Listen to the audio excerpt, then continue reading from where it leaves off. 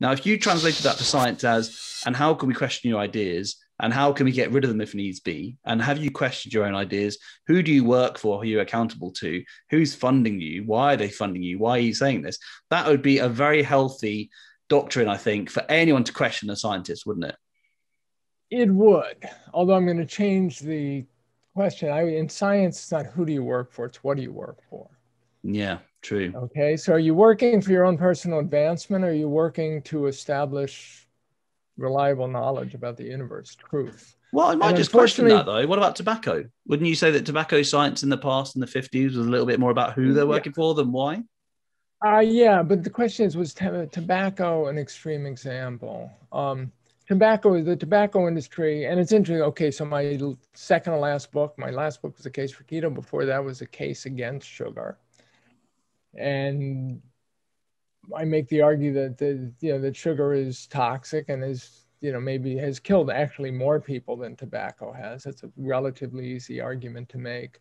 Um, and then people say, so the sugar industry is just as bad as the tobacco industry.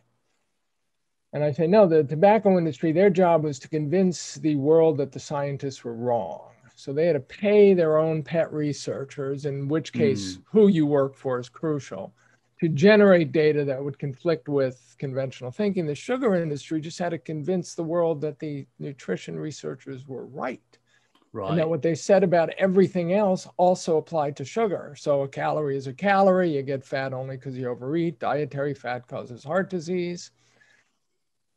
So the researchers they were paying, and they did end up paying researchers, were paid to say what they believed was already true. So their conflict wasn't that they were being paid by the sugar industry and working for the sugar industry. The conflict was that they were bad scientists and didn't understand what they were how to do good science. So pushing on an open door, really. I mean, it was Yeah. because I was going to ask you this question about was it corruption or naivety in in the '60s, but it sounds more like it was the established paradigm, and so it was not that hard to say, "Can you just confirm this for us?" rather than "Can you come up with Well, and that's what they had to do. And now I have Yeah. discussions with my friends who think I'm naive because I think that cognitive dissonance is a much more powerful sort uh, force.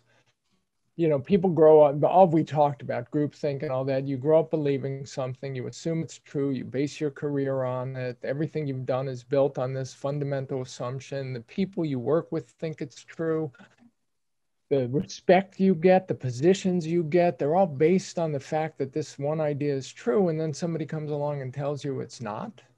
And they're not Mhm. even an insider, they're an outsider. And you're supposed to acknowledge that basically your professional career is a, is a sham and that fundam- you made a mistake from the get go.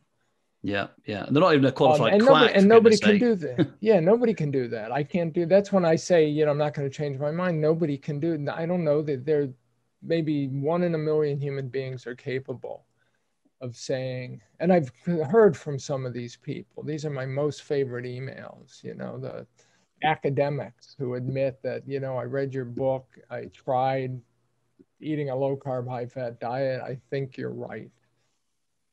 And it pains me no end. Yeah, Da- what, what- David Unwin said, I, David Unwin is one of those people. I made a mistake to begin with. yeah. I'm going to have to admit that mistake to move on. Most, most of us can't do that.